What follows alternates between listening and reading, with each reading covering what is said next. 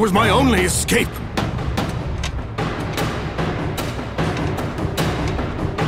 I have faced test after test in search of the sisters.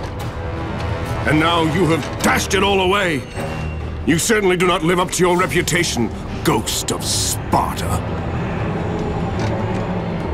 But perhaps this is a test. Are you watching me now, sisters?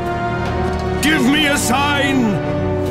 Am I, the great Perseus, to kill this fallen god to receive an audience with you?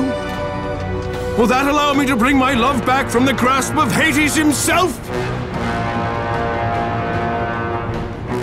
If not, at least I can bathe in the glory of being the one who brought down the mighty Kratos, the slayer of gods.